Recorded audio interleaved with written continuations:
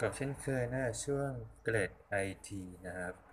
นี่เป็นเรื่องของการตั้งการสังเกตเวลาหน้าจอคือการใช้หน้าจอนั่นเองนะครับหรือการใช้อุปกรณ์นะครับ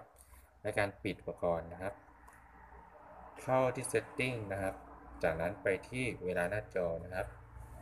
ระบบก็จะแสดงการใช้งานของเวลาการใช้งานหน้าจอของเรานในแต่ละวัน แต่ละรอบแต่ละครั้งนะครับ เราสามารถดูได้ว่าวันนี้ หรือแบบยังไงก็ใช้ไปเท่าไหร่นะครับตามที่ต้องการกี่นาทีชั่วโมงตามระยะเวลานะครับ เราสามารถปิดใช้งานก็ได้ หรือเราจะกำหนดเวลาที่ให้อยู่การใช้งานก็ได้นะว่าจำกัดแค่ว่าเท่าไหร่นะครับหรือจำกัดการใช้แอป ก็ได้นะผมเราก็สามารถกดเข้าไปแล้วก็เลือกเลยว่าจะจำกัดไปยังไงนะครับ หรือจะเป็นการเลือกแอปที่คุณต้องการใช้ต่อเวลาก็ได้นะผมตามที่ต้องการนะครับ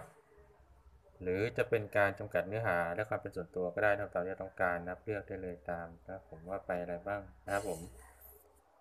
สำหรับวันนี้ช่วงเปิดไอทีช่วงเรื่องของการจัดการเวลาหน้าจอหรือการเช็ค การใช้งานหน้าจอคงจบลงเพียงเท่านี้นะครับ ขอบคุณสการติดตาและการรับชมด้วยนะครับผมสวัสดีครับ